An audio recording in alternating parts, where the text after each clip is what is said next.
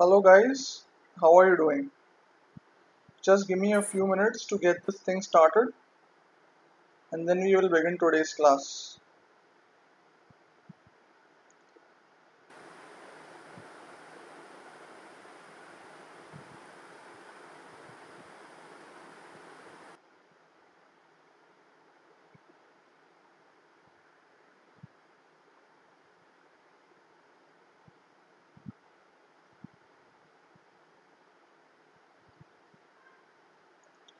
So all of you who are online, if you can see me live, loud and clear, if you can see my PPT, just give me a thumbs up so I know you guys are with me.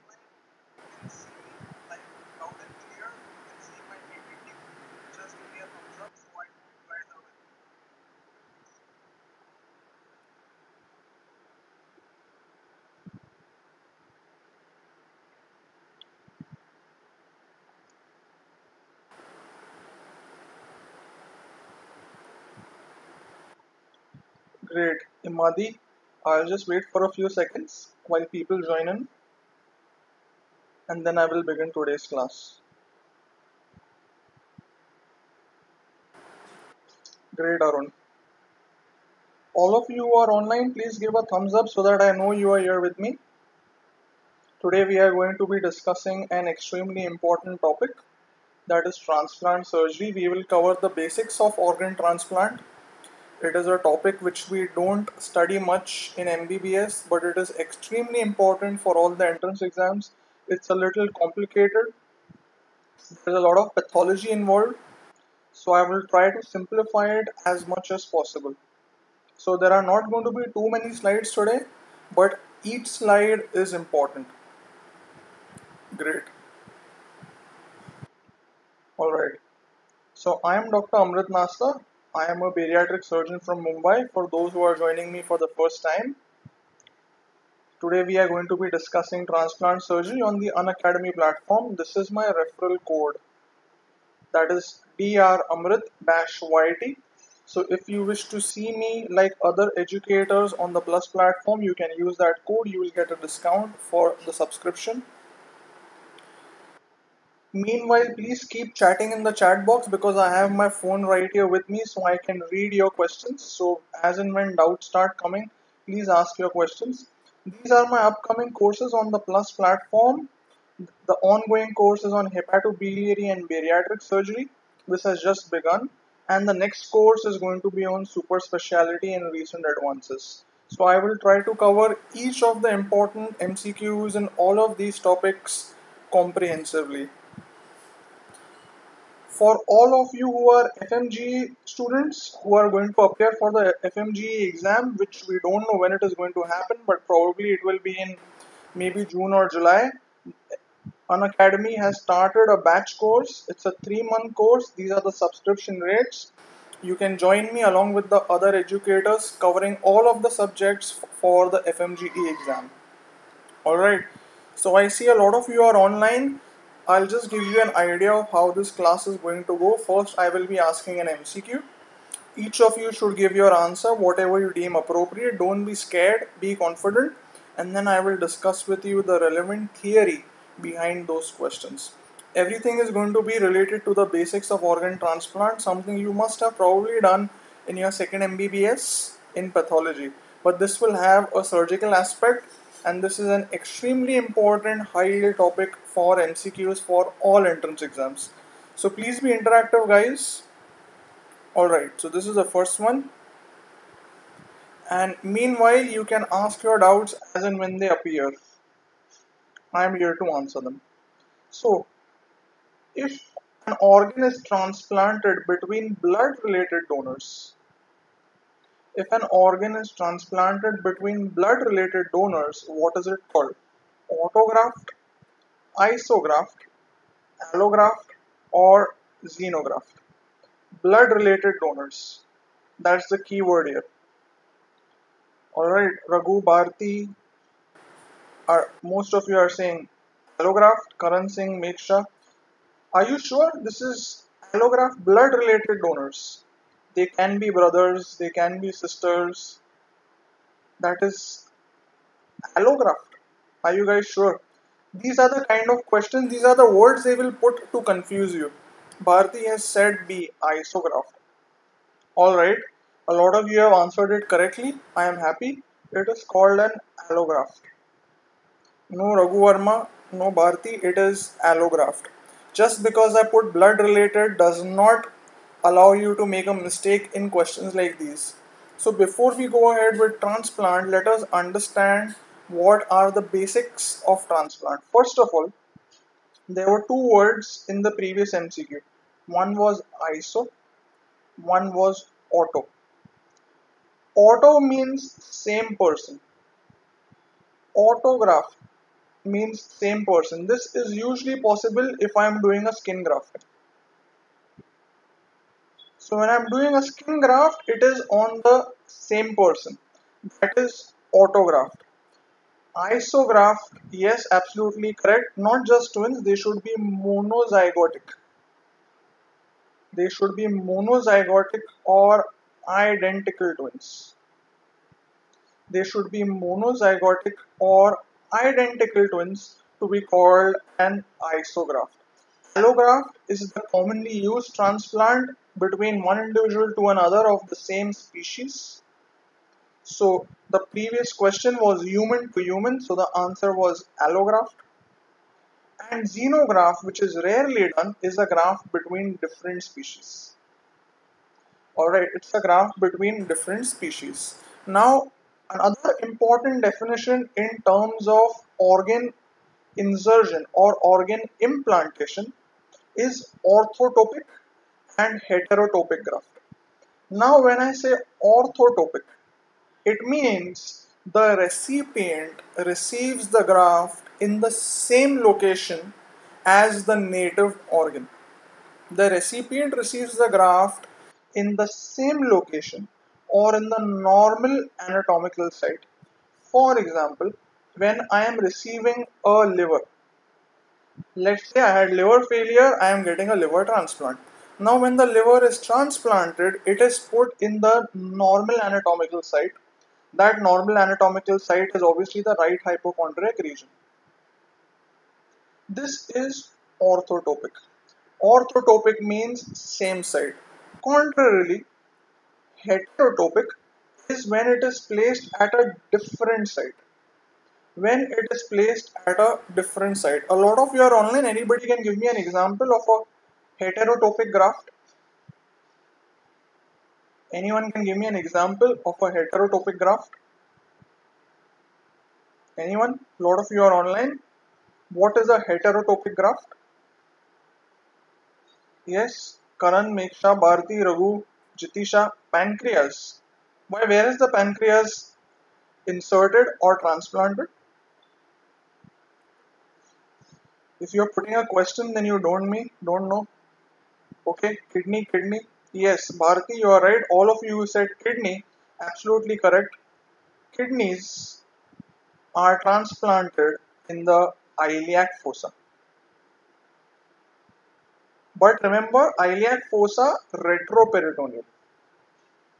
It's not intraperitoneal just because it is iliac fossa. It is retroperitoneal.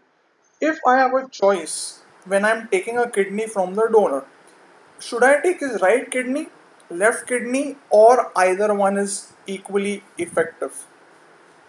Between the two kidneys, which kidney is better as a donor? So if I'm taking, like let's say I'm taking my brother's kidney, which kidney should I prefer to harvest? Left, right, or either one works? These are the kind of conceptual things that you need to carry with yourself, guys, in transplant. Bharti saying left. Whatever answer you give has to come with some explanation, otherwise, it is meaningless. Is it left? Is it right? Why? A lot of you are saying left. Why left is preferred? If you are guessing, you will forget it the next time the question is twisted. Why left? Raghu, Jitisha, Karan, Kia, Imadini, Akanksha, all of you are saying left. Why? Obviously, there has to be a reason. Excellent, excellent. Because the left renal vein is longer.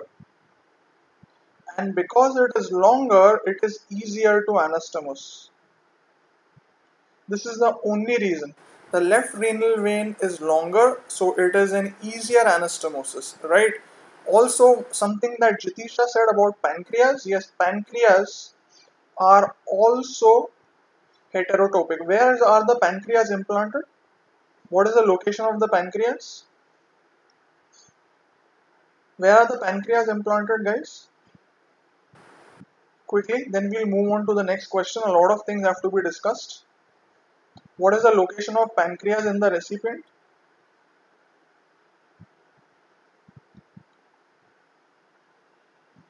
Anyone? Nobody seems to have studied pancreas. Answer is pelvis. It is pelvis and it is intraperitoneal. Unless I am anastomosing it with the bladder. So pancreas are implanted in the pelvis. Alright. Let's come to the second question. Which of these is the most common cause of graft rejection? Now I'm talking about the preparation of the patient before I select the donor for the recipient. So what should I look for to prevent graft rejection?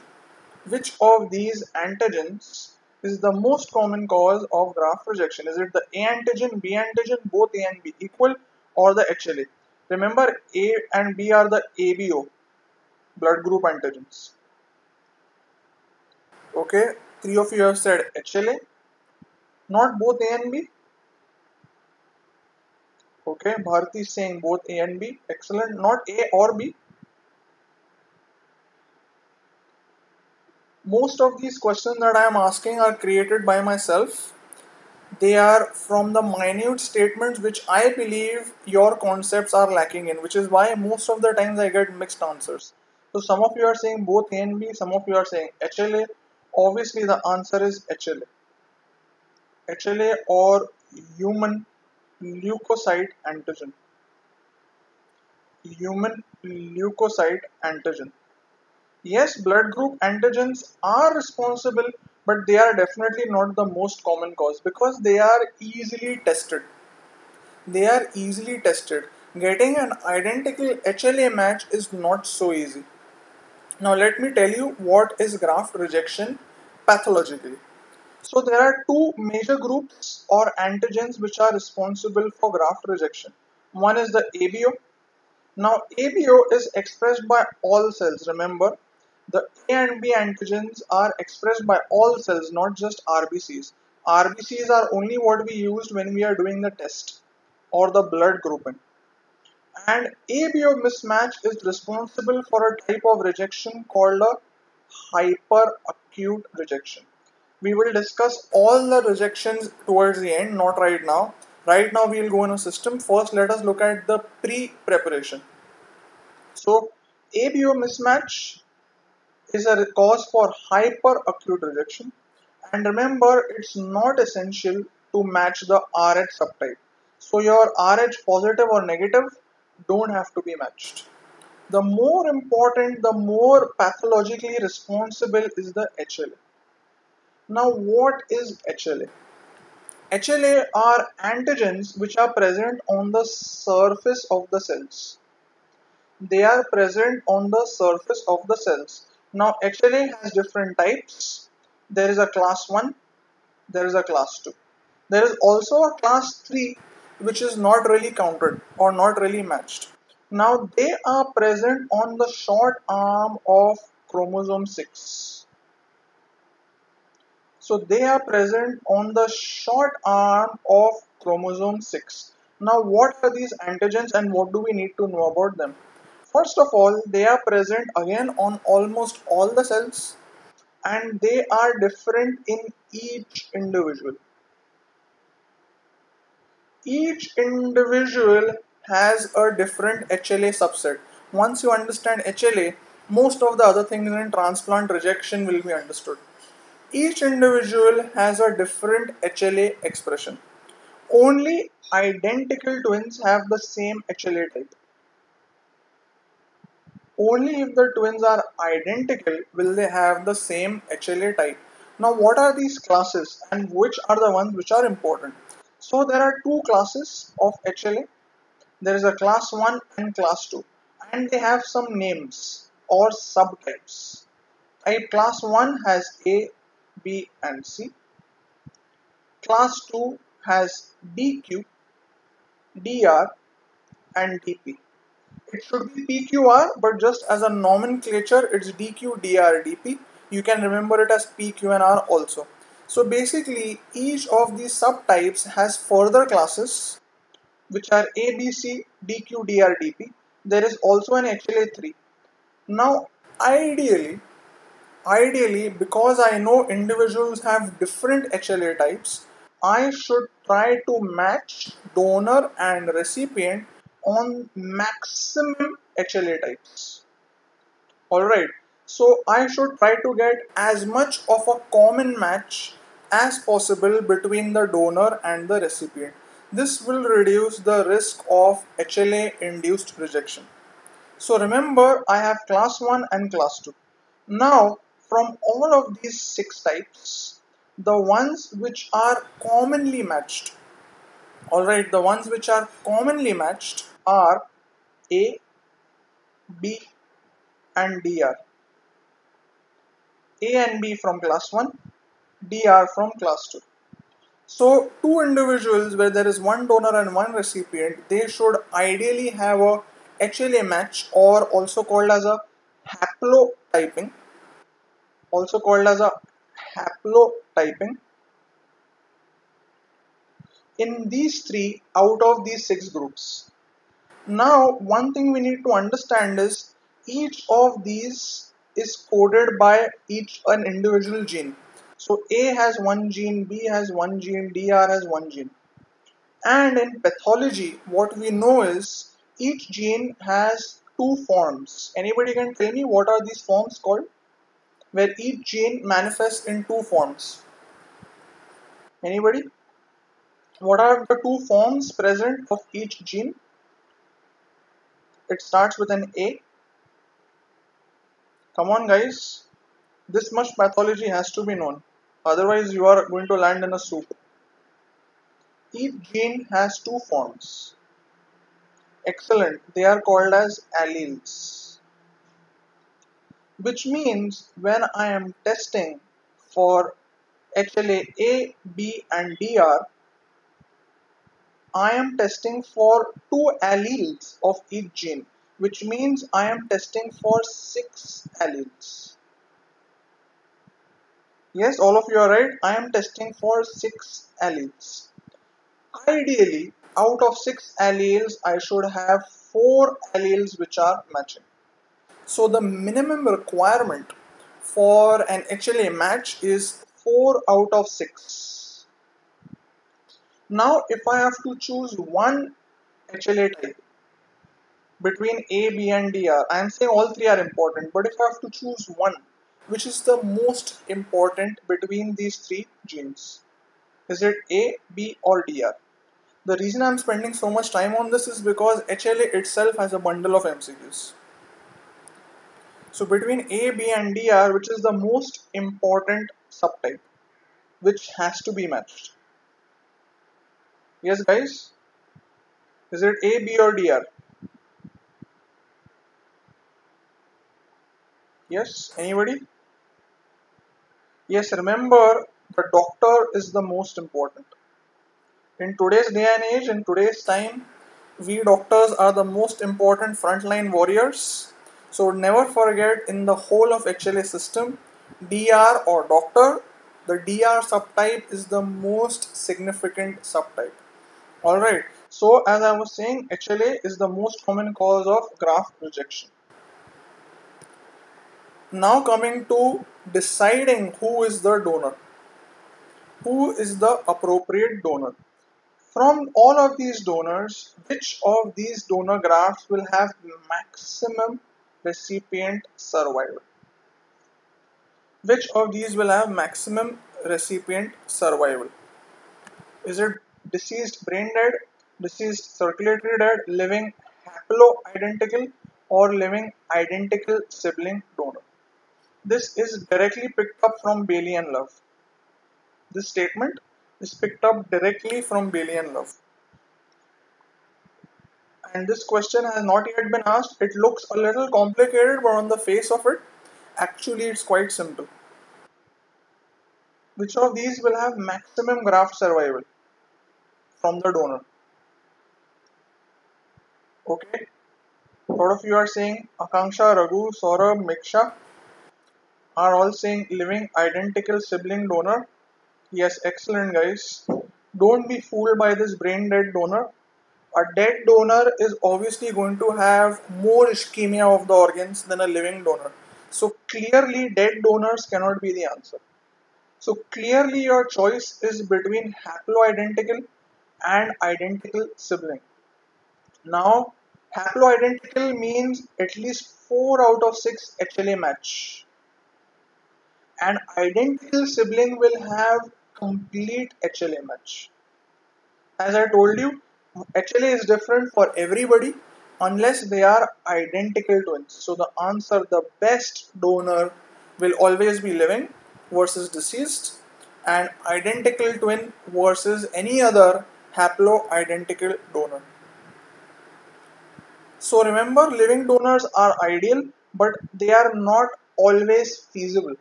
Obviously there is a limit to what organs can be harvested from a living donor.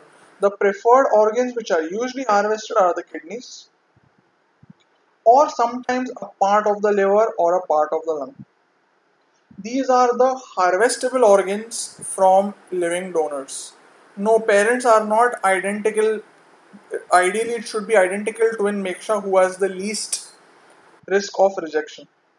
So, living donors was the first.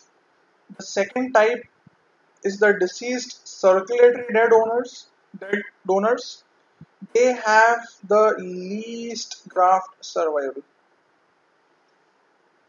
So if they ask you which is the worst, if they ask you which is the worst kind of donor or the least graft survival, it is circulatory dead donor. Alright, and the reason for that is they have the maximum warm ischemia time. They have the maximum warm ischemia time. Alright, we will discuss ischemia times later. Now another important, yeah, C is parents, correct.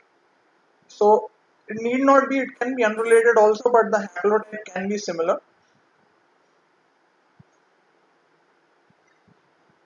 commonly used from which a lot of organs can be harvested are brain dead donors, better called as brain stem dead. So what we need to know is the criteria for diagnosis of brain stem death. So you, MCQ will come on all of these are indicators of brain stem death except. So obviously cranial nerve reflexes should be absent Motor responses should be absent to painful stimulus. However, spinal reflexes may be present. Because spinal reflexes may be present even in a brain dead person. Alright, so spinal reflexes are an exception. Even if they are present, the person can be labeled as brainstem dead. I will discuss this ischemia time. I have a question on that. And third is there should be no spontaneous respiration. So cranial nerve, motor response and spontaneous respiration. This is called as apnea test. This is called as apnea test. So what is done is first the person is pre-oxygenated for 5 minutes. Then the ventilator is disconnected. And after 10 minutes you document that the partial pressure of CO2 is more than 60. Alright, the partial pressure of CO2 is more than 60. This means apnea test positive. This goes as one of the criteria of brain stem death. So remember cranial nerve, motor response and spontaneous respiration. All of these have to be fulfilled. Spinal reflexes, reflexes are the exception to diagnose someone as brain stem dead. Alright, this is a famous question. Which of these is not an absolute contraindication to organ donation? It's one of the favorite questions. Has been asked in different ways. I could have twisted this, but I've kept it simple, so I hope all of you get this right. Which of these is not an absolute contraindication to organ donation? Is it hepatitis B, HIV, skin cancer, or prion disease? Again, these are directly picked up from Bailey and Love, guys. Okay, Pankaj, Prabodh, Raghu are saying HIV. Bhargav Ram is saying prion. Bharati is saying squamous cell carcinoma. Sage is saying prion.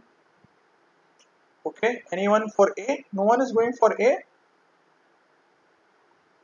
Aishwarya, Sahaj are saying prion. Akanksha is saying squamous cell. Nobody for A. I tell this in each class of mine if the audience is giving a divided answer, which means some of you said HIV, some of you said cell CA, some of you said prion. This question has what is called as a high discriminating index. It has a high discriminating index. These are the kind of questions which are repeated again and again in AIIMS type of exams, where they feel each of the options is being selected by an equal number of students. So this is one of those questions. Okay, I'll give you the answer. The answer is squamous cell carcinoma of the skin. Now understand what are the absolute contraindications. Prion disease is an absolute con. It was the first thing that is given in Bailey and Love. The first thing, Creutzfeldt Jakob disease. Hepatitis B, specifically active hepatitis B. Active systemic sepsis. HIV, unless the recipient is also HIV positive. Otherwise, it is a contraindication. The tricky one is this. This is the one you need to remember. If the person had a malignancy in the previous five years, and this excludes the important other exclusions, they will always ask you on the exclusion. They will always ask you on the exclusion.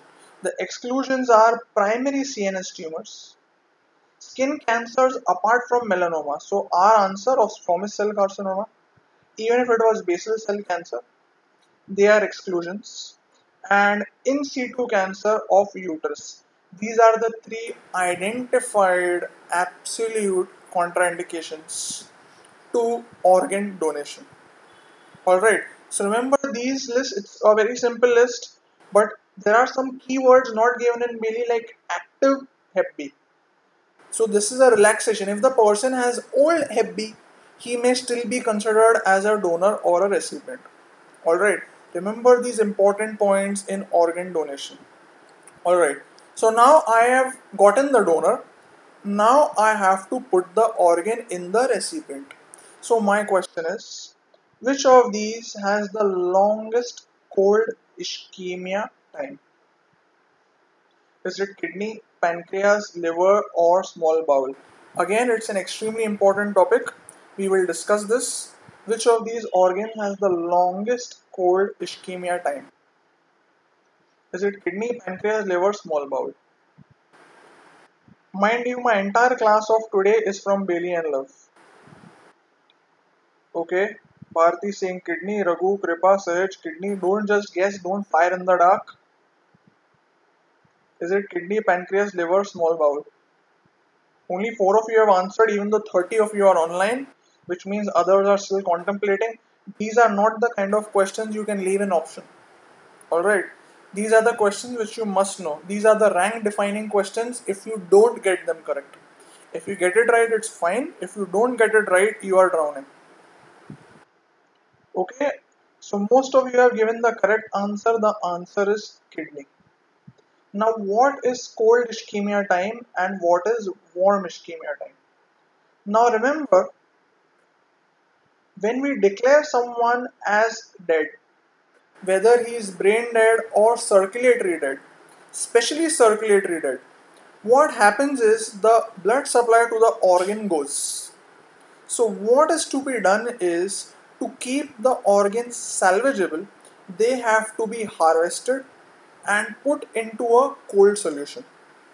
So a cold solution is injected into the organ so that its metabolism slows. To slow down its metabolism. So this time which is taken between the cessation of circulation till injection of a cold solution is called as warm ischemia time. It means the time for which the organ remained unperfused. Alright, warm ischemia time simply put is the time for which the organ remained unperfused. Obviously this implies if the person is a DCD, circulatory dead person, the moment he dies, the warm ischemia time begins. So people who are DCD, the organs usually have a prolonged warm ischemia time, which is why the organ harvesting is poor. Versus someone who is brain dead. Brain dead but circulation continues, the warm ischemia time is yet to begin.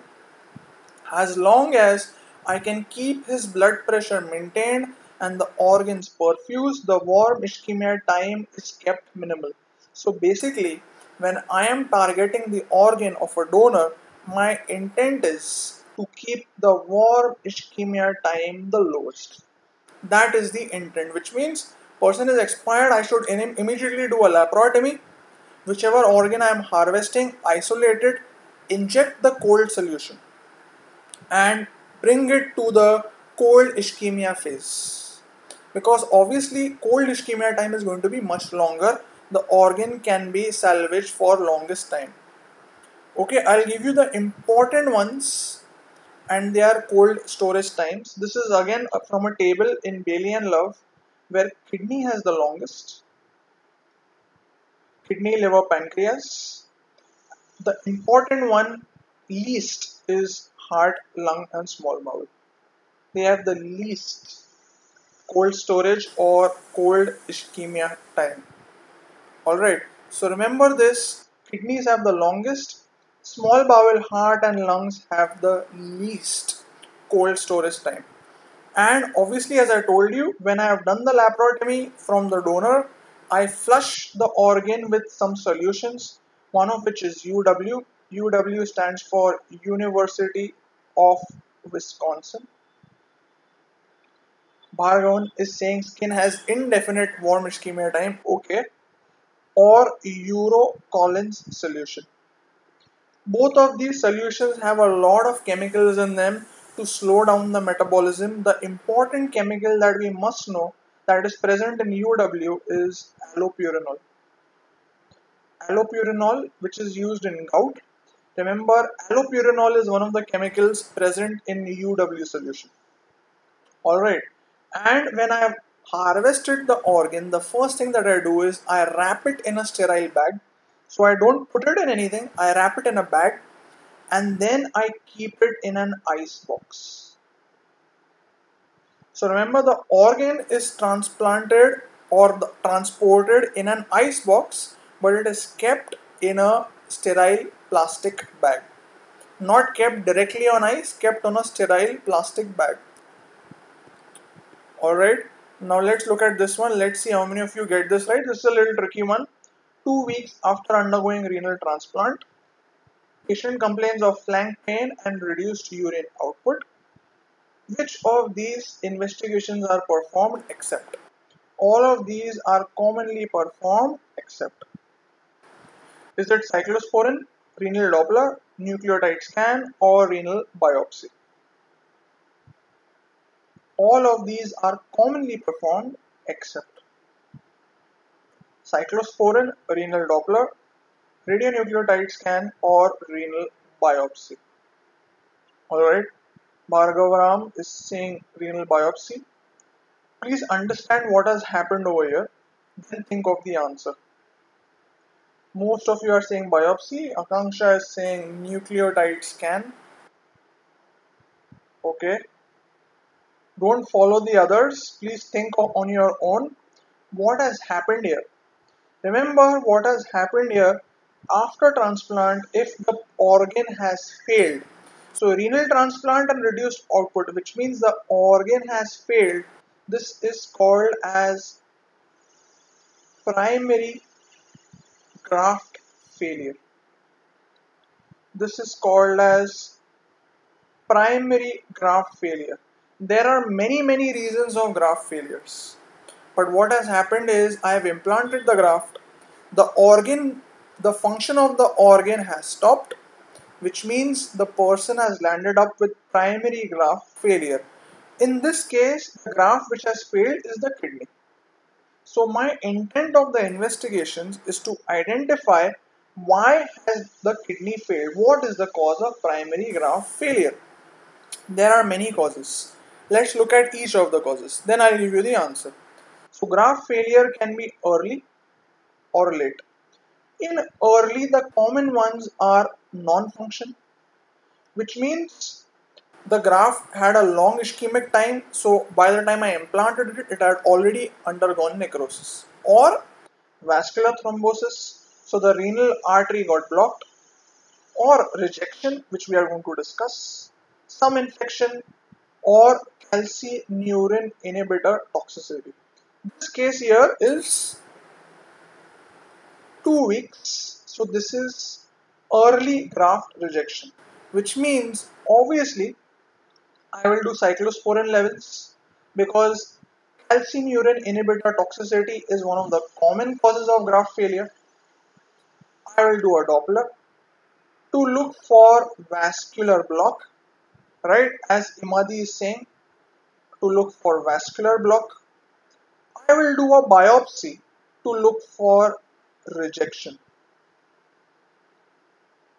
So the answer is radionuclide scan. Yes, it can be done, but it is not commonly done. It is done when most of the common investigations are negative. Only in that case will I attempt a nucleotide scan. Now understand rejection, whether it's hyperacute, acute or chronic, is just one of the causes of graft failure. Graft failure is the problem of the graft not working. There are many causes as you can see. We are going to focus now only on rejection. Basically rejection means for whatever immunological problem the graft did not work. So now we are talking only about rejection as a cause of graft failure apart from the other causes. So there are three types. The first is hyperacute which happens within hours. The time limit is less than 48 hours. So what happens is, let's say I transplanted the kidney in someone who had an ABO mismatch. So the person was B positive, the donor was A positive, the recipient was B positive. So when the A positive donor kidney came into the recipient, the B antibodies ate up the kidney and this happens immediately. So this is hyperacute rejection due to preformed antibodies. Can anybody tell me what is the type of hypersensitivity? Is it type 1, type 2, type 3 or type 4? Preformed antibodies is which hypersensitivity reaction as a cause of hyperacute rejection. Extremely important guys. This is the pathology you need to know. So hyperacute rejection is what hypersensitivity re reaction? Type 1, type 2, type 3 or type 4? Excellent, it is type 2 due to preformed antibodies. Type 1 is anaphylaxis. Then comes acute.